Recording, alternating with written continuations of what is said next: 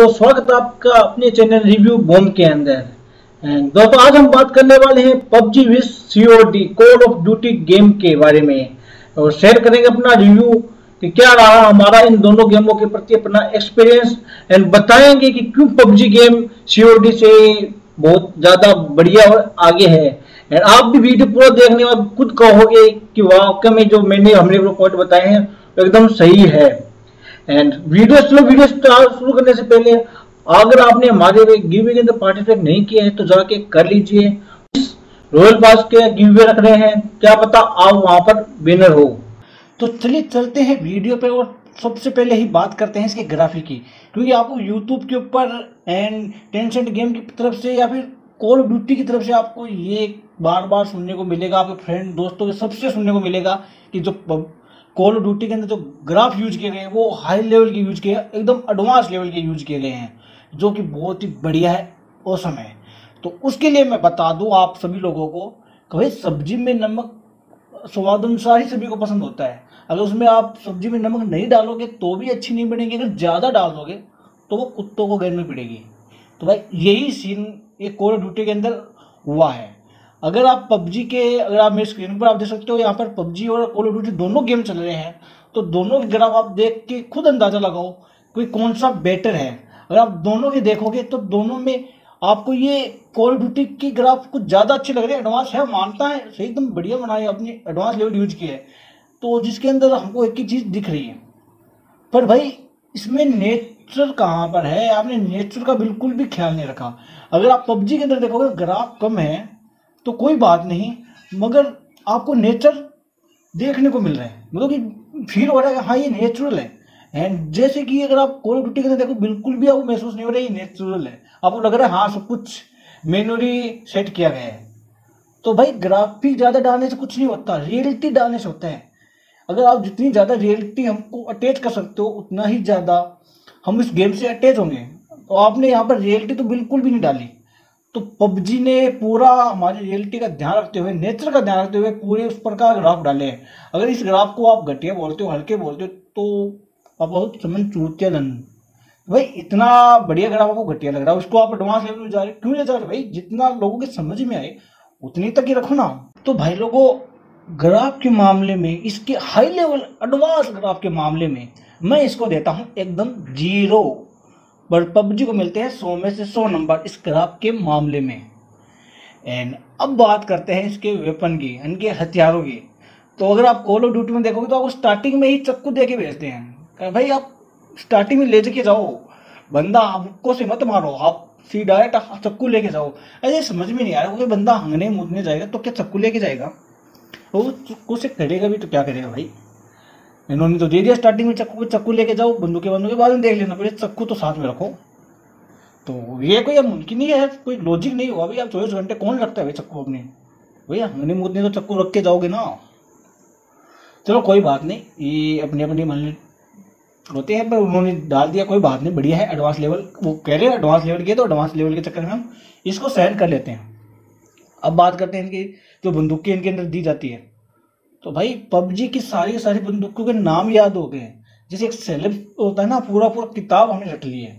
कि भाई, इसके अंदर कौन कौन सी बंदूक है एम सोलह के अंदर कितनी गोलियाँ भरी जाती है वी एस एस के अंदर कितनी गोलियाँ भरी जाती है कार नाइनटी के अंदर कितनी गोलियाँ भरी जाती है, या एम ट्वेंटी फोर के अंदर कितनी गोलियाँ भरी जाती है, किस गोली का क्या रिएक्शन होता है, कितना सामने वाले को जख्मी कर पाता है तो पूरा पूरा नॉलेज हो चुका है। आप यही आपने जो इसके अंदर यूज़ की है वेपन अगर कौन सा वेपन कितना पावरफुल है, कुछ मालूम नहीं। किस वेपन के अंदर कितनी गोलियाँ बनेगी, कुछ भी मालूम नहीं। ये सब कुछ कम से कम बंदूक की तो सेम रख लेते यार। बंदूकों का नाम भी अगर आप देखो तो भाई, क्या नाम यार?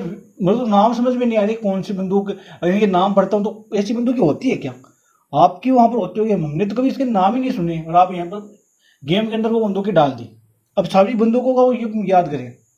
अगर पबजी की बात करें तो आप कार नाइनटी एट ए के फोर्टी सेवन, साले ऐसे लग रहा है कि हाँ यार बंदूकों का नाम हम फ़िल्मों में काफ़ी बार सुन चुके हैं। लगता है भाई हाँ ये बंदूक होती है। तो उस बंदूक से मारने में मज़ा आता है। यार अच्छी बंदूकें जो आपने दे रखी जिनके कभी नाम ही नहीं सुन रखे, और वो बंदूकों का नाम को हम याद करना पड़ रहा है।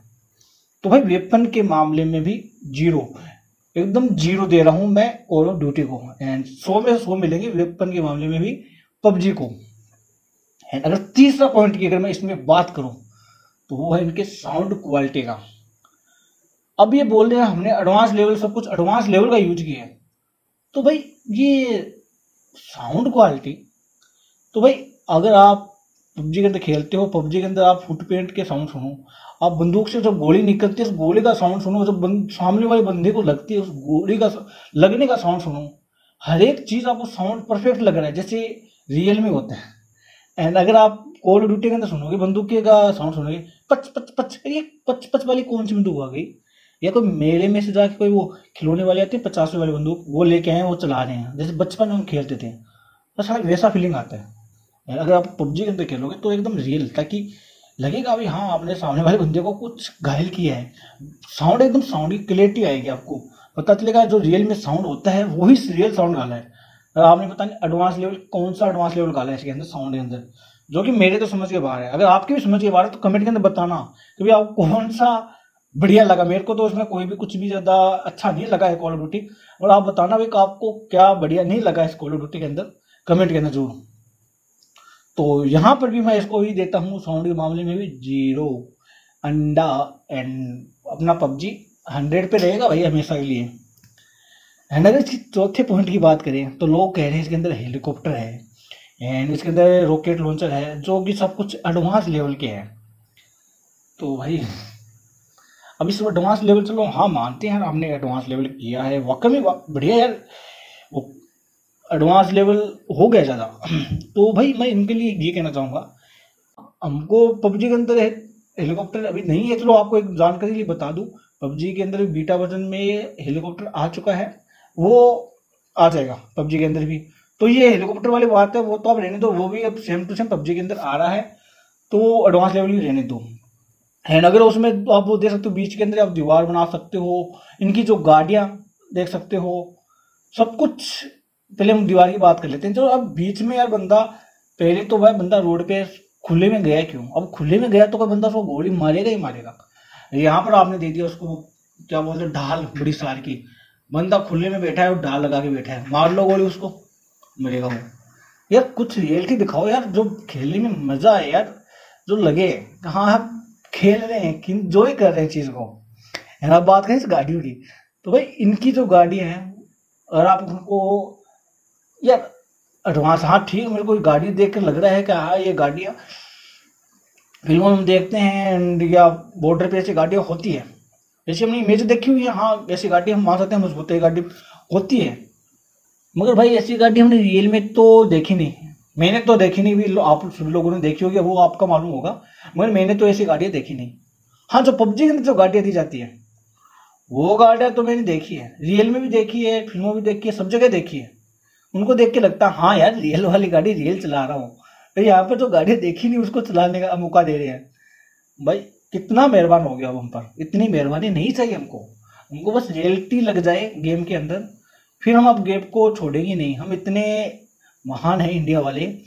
अगर कोई चीज़ के पीछे पड़ जाते हैं तो उसको छोड़ते नहीं हैं। पूरा और उसका रस निकाल के ही बैठते हैं। तो भाई, कोई रियलिटी दो हमको। कहाँ पर, कहीं पर तो दो ना। गाड़ियों के अंदर भी आपने कोई रियलिटी नहीं दी तो इस वजह से गाड़ियों के चक्कर में भी आपको मिलेगी ज़ीरो एंड पबजी पबजी।